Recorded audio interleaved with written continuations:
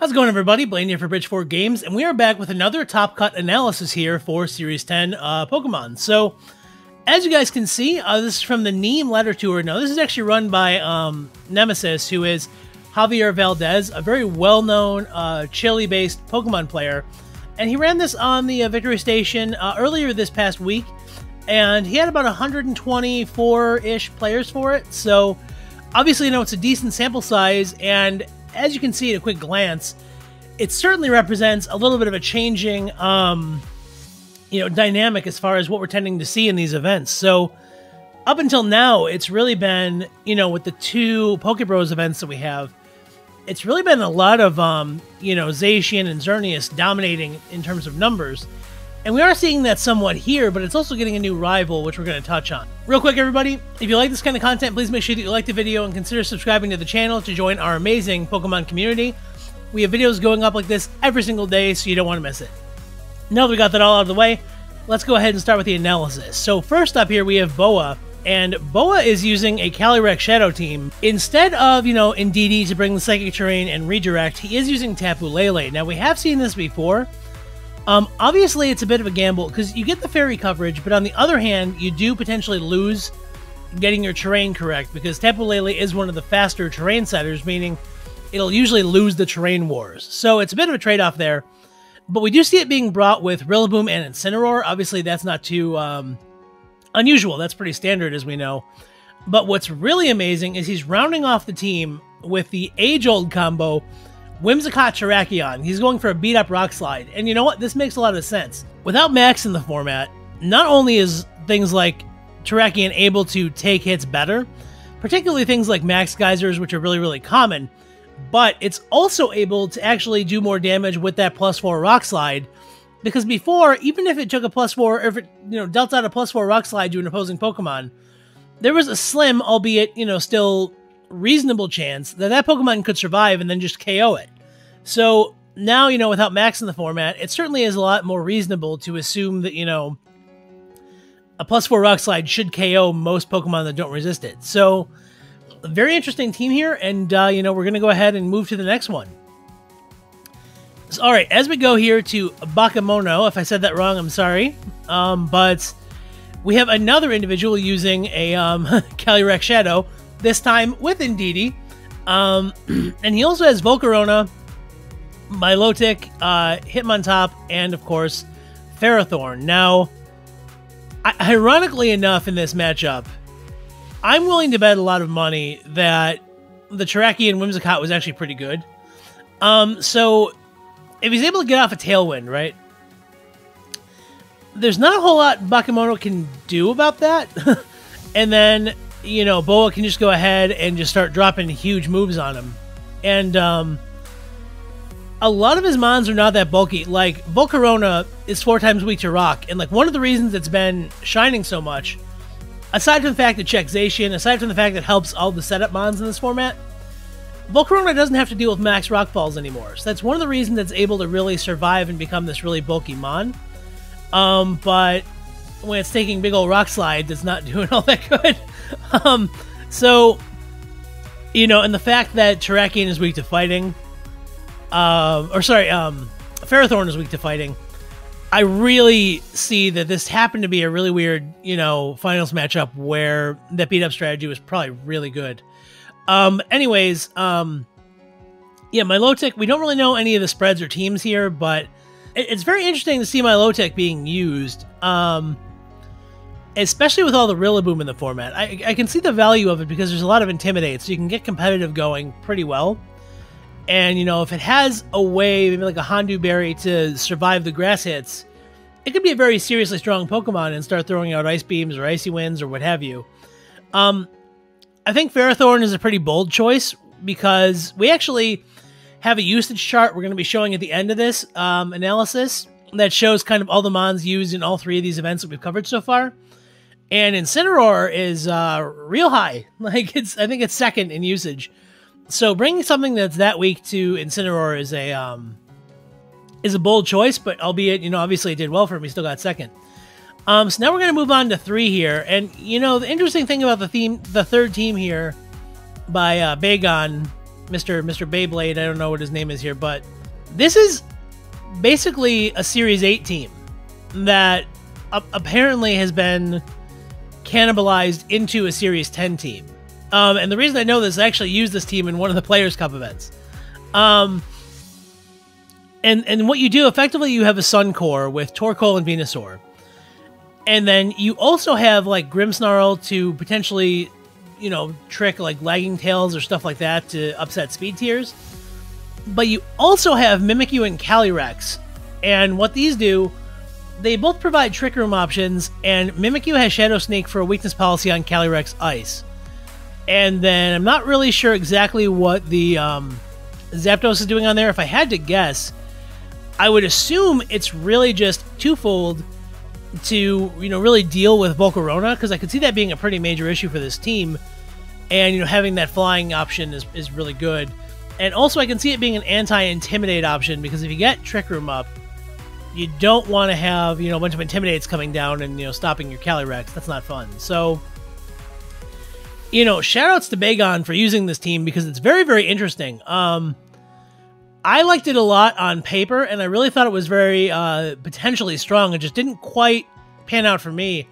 Um, but, you know, he was able to get third in this fairly large um, Series 10 event. So, you know, shoutouts to him. That's great. All right, uh, moving on to number four here, we have Ferrigno. Uh, I wonder if it's the Hulk, but I didn't know he was into VGC. That's cool. Um, but we have uh, Xerneas, Regieleki, Rillaboom, Drifblim, Ditto, and Incineroar. Now, this is very interesting um, because, okay, so let, us take these in order. So Drifblim is, is pretty interesting because, as we know from my high roller draft league matches, um, Drifblim is great with seeds. The, the, the boosting defense or special defense is unbelievably strong, and that's really, really cool. Um, so what I'm going to be guessing I'm going to guess Drifblim was one of his answers to Zacian. And the reason why is it's going to get a defense boost when he uses Grassy Seed, and then it will naturally outspeed Zacian. It can also use Tailwind, so all of his mons can outspeed Zacian. And it also has Strength Sap. So neither of Zacian's moves are going to do all that much damage to a plus one defense boosted um, Drifblim.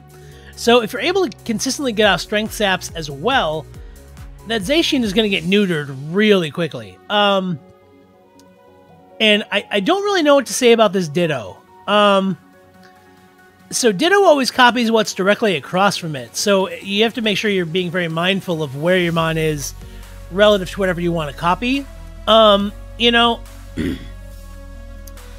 Ditto has always been, been one of these like meme things that everybody wants to try and use. Um, I, I really don't know what exactly he was trying to do with this. I have to assume he was going to steal other like Xerneas's and get the uh, Geomancy boosts, and then if he has a scarf, presumably he does. Um, it would be you know the top dog around. He also could be copying Zacians. That's certainly an interesting option because if he can deal with their Zacian and get a Zacian himself, that's insane. Um, so yeah, I mean that's pretty much all I know about you know what he was doing with that Ditto you know, again, the Rillaboom and Cineroar Regieleki are all real standard. Um, but yeah, it's certainly some interesting mons there. All right, moving on to Anubis, uh, the Egyptian god of death himself. Um, we see that he's using Zacian, Meowstic Male, Rillaboom, Milotic, Arcanine, and Porygon 2. All right, so Arcanine over Incineroar is very interesting. So it doesn't have Fake Out, right? But it does still have Intimidate and is a Firemon, so it can still check um, Xerneas the same way. It's interesting because the difference is Arcanine now, not being Dark type like Incineroar, is not weak to Sacred Sword or close combat from Zacian. So that's if I had to guess, that's probably a reason why he chose that. Um, other than that, there's not a ton of reasons that really speak out to me as far as why you would do that. Um, Porygon 2, obviously a fine option. He wants to really undo Trick Room. It looks like more than set it. Um, you know, as we talked about with Milotic, it's it's fine. You know, I, I personally am not a big fan of Milotic, but um, you know, with all the Intimidate running around, especially the fact that you don't want your Xerneas being intimidated, that makes a lot of sense because you want to get those competitive boosts off to counteract yourself being intimidated, to make sure that you don't lose too much ground and you can still pick up KOs. Um, Rillaboom again, pretty standard. But the Meowstic male, that is the prankster one. Um, it's really, really interesting. We don't know exactly what it was doing. Um, but we do know Meowstic has a lot of really interesting moves. Um, I was actually looking at a Meowstic myself, um, which I'm going to actually pull up Meowstic's move spread real quick. Oh, yeah, so we look at his moves. Um, you know, he's got Fake Out, obviously, which is great. He has screens. Uh, let's see. He's got Sucker Punch, which is interesting, not really all that great, but it also has Yawn, which is cool. Uh, it has Ally Switch, it has Charm. All of these are Prankster, by the way, which is pretty crazy. It has Fake Tears, Helping Hand, Imprison. Uh, it also has, I believe, Skill Swap. So, you know, I don't really know exactly what he was doing with that, but certainly you can skill swap with things like Arcanine and continually drop your opponents, which is really, really cool. Um, so, you know, there's just a lot of options. And also, if he is using skill swap, it's able to re reset the uh, grassy terrain also. Um, but yeah, I think he probably was using, you know, perhaps Charm uh, and maybe just some other miscellaneous, you know, prankster shenanigans. It doesn't get Tailwind, uh, so obviously it's not something that was in play, but it does get things like T-Waves, so there were just a lot of options for that um, Meowstic to use. And, you know, it's really interesting that we're seeing it, you know, show up on a Top Cut team. All right, guys, and moving on to team number six here, we have Playmaker. Now, Playmaker, you know, he's not reinventing the wheel here, but, you know, congrats to him still on his Top Cut. Uh, we're not trying to take away from that in any way. We're just being, you know, honest. The team is using a lot of standard players that we're seeing. Um, and there's, no, there's nothing wrong with that. You know, that's part of what a developing meta is. Um, but he's got Xerneas with its brand new best friend, Volcarona, obviously to help with redirection support and to take all those wonderful moves from Zacian so very well. And it's coming with Regieleki, Rillaboom, Urshifu. We don't know which one, unfortunately, but Urshifu. And Hitmontop. Now, Hitmontop is an interesting choice. Um,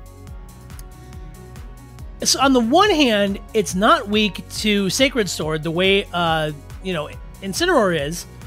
And it's similar to Incineroar in that they both have Fake Out and they both have Intimidate. But Hitmontop is considerably more weak to both Calyrex Shadow and also to Xerneas. So, you know, I mean, it's certainly a judgment call. Um, he may have Wide Guard on that thing or some other tools that Incineroar maybe doesn't bring that he wanted to have. So, you know, certainly that's what we're seeing. We're seeing more than one instance of Hitmontop here, which is interesting. Um, obviously, Wolfe Glick would be very proud to use that at Worlds in 2016, but um, yeah, you know, Hitmontop's always been a, a, Pokemon that I liked a lot, even back since Gen 2, so I'm, I'm really happy to see it getting some top cuts here. Um, now we have T TC. Um, I almost I almost assuredly butchered that, so apologies in advance. Um, he is another person using a Calyrex Shadow team here with Regieleki, Rillaboom, Urshifu, and of course um, Zapdos, Galar. But interestingly enough, he also brought Whimsicott. Now that actually makes a lot of sense too because Whimsicott is very good at getting a Tailwind to help deal with opposing um, Calyrex Shadows. It's very much worth noting that he doesn't have a Psychic Terrain setter here, so he may not necessarily be going for the Expanding Force, or maybe he figures if he sees, you know, maybe he figures he has enough firepower without Expanding Force, and if he sees an opposing Pokemon or an opposing team using Calyrex Shadow, he's just going to outspeed him with, you know, Whimsicott and get the KOs that way.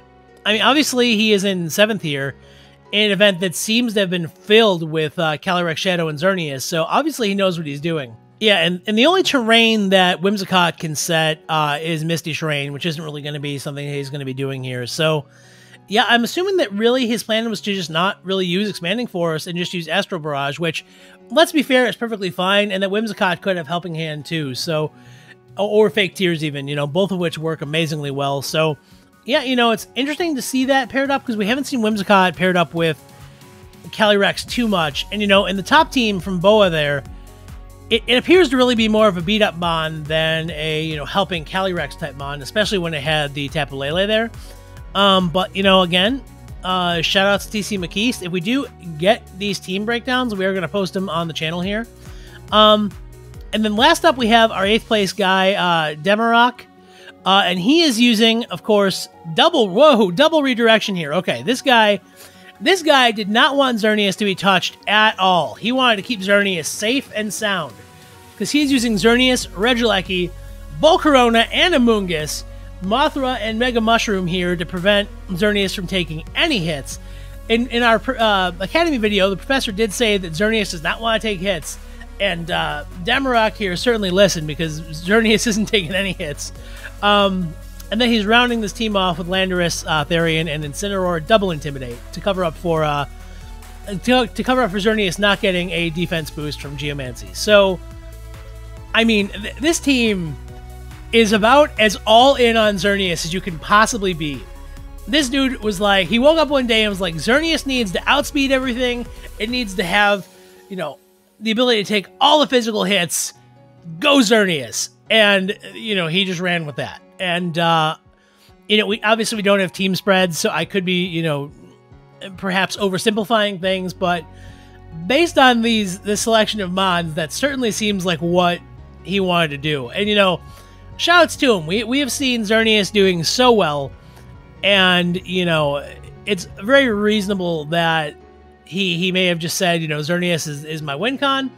I'm going to to use it to kick as many heads in as possible. And uh if that was his plan, congrats because it worked for you because you got top cut. So, all right, that was the top eight from the Neem Ladder Tour here. Now, as I said, we do have usage stats that we have put together. So I'm going to flip over to that now. Okay, so as you guys can see here, I have a Google Doc with all the usage for each of these mons in all of the events that we have seen so far. So we do have the two Pokebros events and then the event uh, from today that we covered. And this is a recap of all the appearances of those mons. So out of the three events, in the Top Cut teams, Rillaboom has appeared 18 times. Now, that is pretty remarkable because that means that Rillaboom has been effectively on 75% of all teams that we've seen. That usage stat blows most usage stats out of the water. Um, you know, it really speaks to what this format is. Um, and the fact that Rillaboom is going to be a mon that you're going to see a lot of going forward. So, you know, prepare for that. Make sure you have an answer for Rillaboom. Make sure you expect to see it because you're going to. Uh, right behind Rillaboom at 15 is Incineroar. Now, even now, you know, we always say Incineroar is everywhere. You know, I've had people ask me what the you know most powerful mon is in VGC or what the most used mon in VGC is, and without thinking, you always say it's got to be Incineroar because it's always seen so much use because of everything it can do. And it really speaks volumes to the fact that Incineroar is three behind Rillaboom. You know, it still has a ton of usage, but it's still less than Rillaboom, which is pretty crazy. Um, but yeah, 15, so still very respectable. Obviously, guys, this isn't a surprise. We, are seeing Incineroar used, you know, all the time, so that's pretty simple. Um, next up, we have Earth Urshifu. Now, this is a bit of a you know messed up statistic because we don't have the team spreads, so we don't know which Urshifu is which. So this number is a little bit padded, unfortunately. Uh, but we have seen 11 instances of Urshifu, both forms combined, showing up on teams. So does this mean that Urshifu is like really amazing? And the answer is yes, especially considering the fact that Calyrex Shadow is around. Um, Dark Urshifu can deal with that thing so easily that a lot of people are very interested in gravitating towards it. And additionally, you know, Water Urshifu is another thing to consider because it can handle a lot of things that show up as well. I mean, there's a lot of random Firemons in the format, and you know Landorus as well, and it can handle both of those very well. So it really kind of depends on what you want to do and what your team looks like. Next up, we have Regieleki. Obviously, this is not a surprise. We're not going to spend a lot of time talking about this. Regieleki is bonkersly good.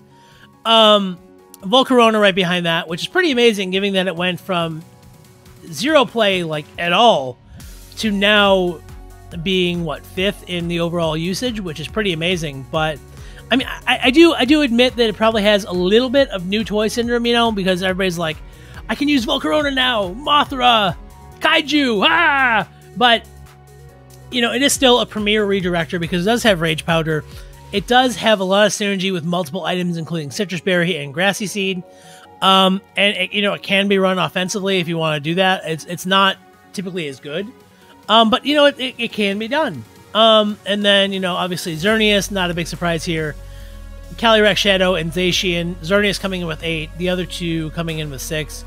Um, and Landorus, Therian, Whimsicott, and Galar Zapdos seems high to me, but again, you know, flying fighting may be appealing in this format, especially the Defiant being really, really interesting. Um, so I did want to just show real quick the restricteds.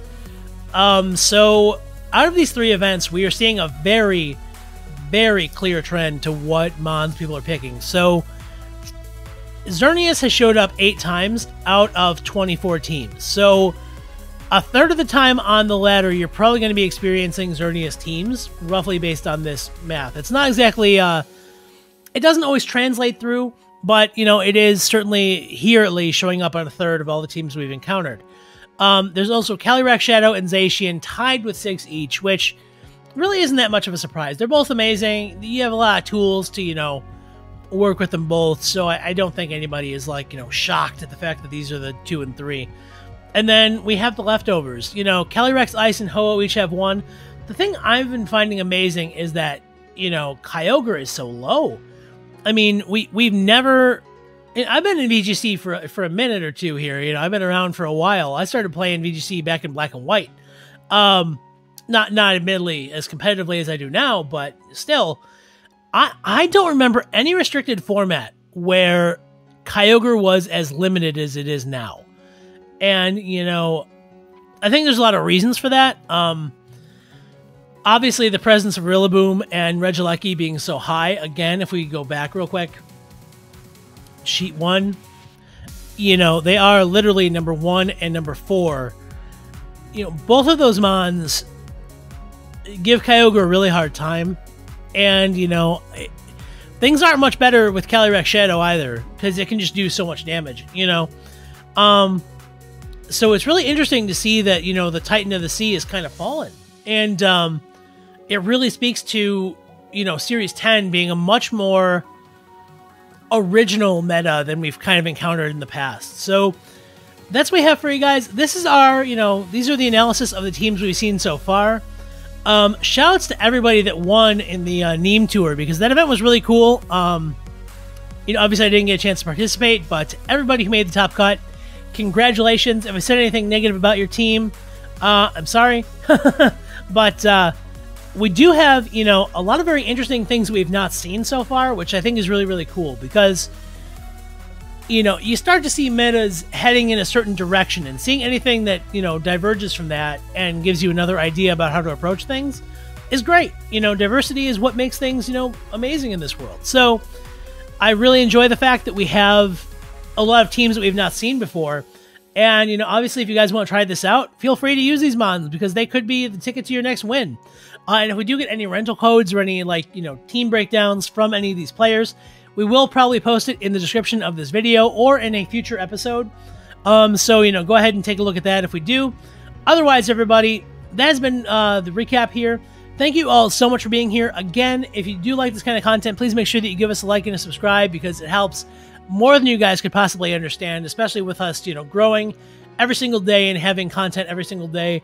It helps us become the premier channel that we are striving to be to give you guys all of the amazing Pokemon news as soon as it drops and all the other amazing Pokemon content that we put out. So again, thank you all for being here. Um, and you know, go have fun, try out Series 10, and don't be afraid to experiment because there's so many cool things you can do. Just go out there and have fun.